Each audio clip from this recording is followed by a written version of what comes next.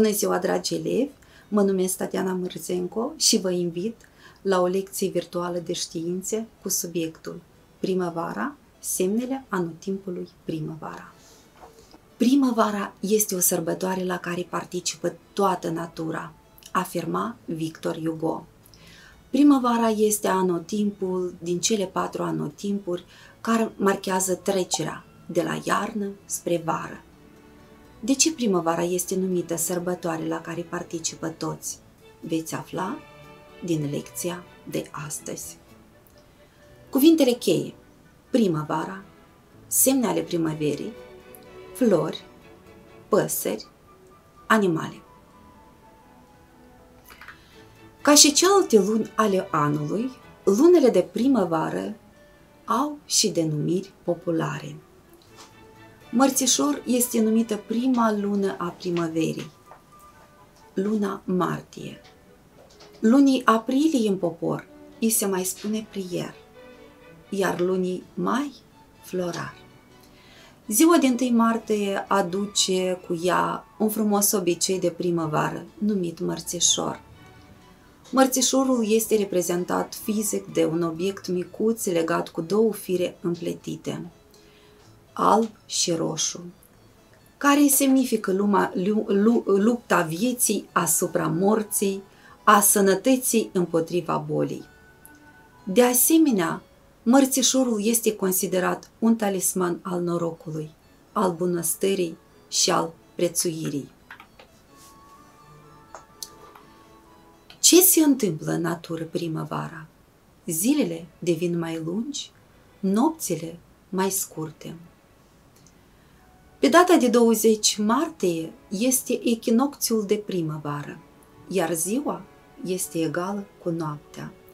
Din acel moment, durata zilei începe să crească și cea a nopții să, să scadă. Echinocțiul are loc de două ori pe an. Primăvara, soarele începe să lumineze și să încălzească mai tare.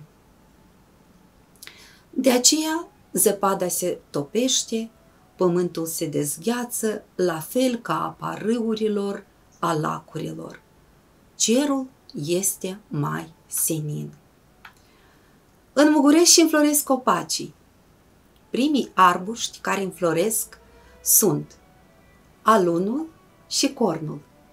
Salcia și arțarul sunt primii arbori care înfloresc. În livezi, primii înfloresc caisul și zarzărul.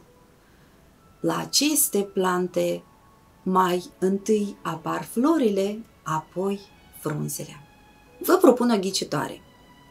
Adie vânt prin ramuri, zboară petale prin livezi. O floare timidă încearcă să scoate capul din zăpezi. Ce este? Ghiocelul. Prima floare care apare este ghiocelul. Apoi își fac apariția și alte flori, cum sunt viorelele, brândușele, toporașii. Pe lângă păduri, prin grădini sau pe terenuri nelucrate, cresc în voia lor primele plante ale primăverii. Păpădia, leurda, unteșorul, măcrișul, urzica, loboda. Oamenii cultivă în grădinile lor salată și spanac. De ce primăvara? Pământul este plin cu zumzet și culoare.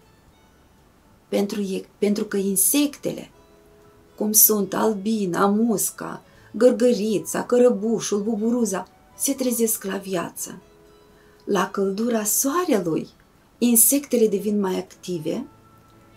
Primăvara, insectele depun ouă și se mulțesc foarte repede. Haideți să vedem care sunt vestitorii primăverii. Ne propune o poezie superbă scrisă despre vestitori George Coșbuc. dintre-alte țări de soare pline, pe unde ați fost și voi străine, veniți, dragi păsări, înapoi, veniți cu bine. De frunze și de cânte goi, plâng codrii cei lipsiți de voi. Da, este despre păsări, despre vizitatorii care ne bucură cu sunetul lor. Plecarea și sosirea păsurilor migratoare reprezintă evenimente importante care marchează trecerea de la anotimpul călduros la cel friguros și invers. Primăvara, păsările găsesc hrană din belșug. După ce își construiesc cuiburile, păsările fac ouă și apoi le clocesc. Din ouă ies puișorii. Ei sunt hrăniți de părinții lor cu insecte care dăunează plantele din câmpuri, livezi, vii, care dăunează pădurile și parcurile. Primii se întorc în țările calde, graurii. De aceea, ei sunt numiți vestitorii primăverii. Apoi vin și alte păsări migratoare. Pene negre pe aripi are, peste broaște e mai mare. Despre ce pasăre se vorbește în această ghicitoare? Da, despre barză. Barza are picioarele lungi, preferă să stea lângă râuri și bălți ca să-și găsească hrana. Barza are ciocul mare și culoarea uh, ciocului de roșie portocalie. Se întoarce primăvara la același cuib pe care și-l repară. Uneori, generații întregi locuiesc de-a lungul anilor în același cuib.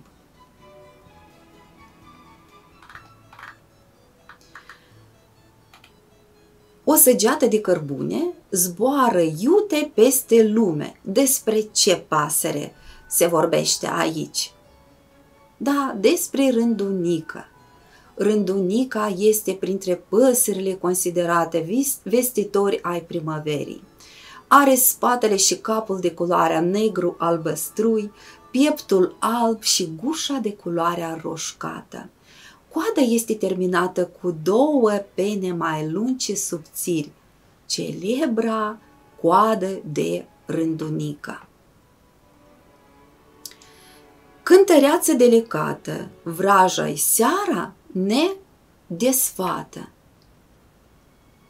Este privighetoarea, o mică pasăre migratoare, cântătoare, insectivoră care se înmulțește în Europa și Asia și își petrece iernele în sudul Africii. Ne încântă foarte frumos cu trilurile ei. V-ați pus vreodată întrebare de ce zboară gâștele în stoluri de forma literei V? Gâștele zboară în stoluri de forma literei V pentru că fiecare gâscă dând din aripi creează un curent ce susține gâsca din spatele ei. În acest fel, stolul înaintează mai repede. Când gâsca din fruntea stolului obosește, ea se retrage în mijlocul formației pentru a se odihni și o altă gâscă îi ia locul din față. Ce se întâmplă cu animalele din hibernare primăvara? Ursul, veverița, bursucul, cârtița, ariciul, liliacul, popândăul se trezesc din hibernare și devin active. Primăvara, animalele își găsesc hrană din belșug, deoarece afară e din ce în ce mai cald. Majoritatea lor năpârlesc schimbă blana groasă pe una subțire. Știai că puiul de urs apare sau se naște în perioada de hibernare? Ei la naștere sunt de 200-700 de grame. beau lapte foarte nutritiv de la mama și cresc foarte repede. Primăvara, când își părăsesc bărlogul, arată deja ca niște ursuleți. În livezi, pom- pomicultorii curăță și tund arborii fructiferi. Și când este cazul, să despom tineri, văruiesc tulpinele copacilor pentru a-i apăra de vătămători și boli. În parcuri și pe marginea străzilor, oamenii plantează copaci, arbuști, seamănă sau plantează iarbă și flori. Când se fac arăturile? Pentru a avea o recoltă, trebuie să avem grijă și de sol. Din acest motiv, arăturile se fac în februarie-martie, după ce zăpada s-a topit, iar pământul s-a zvântat așa cum trebuie. În multe locuri de p- pământ, oamenii sărbătoresc sfârșitul iernii cu festivaluri și tradiții unice.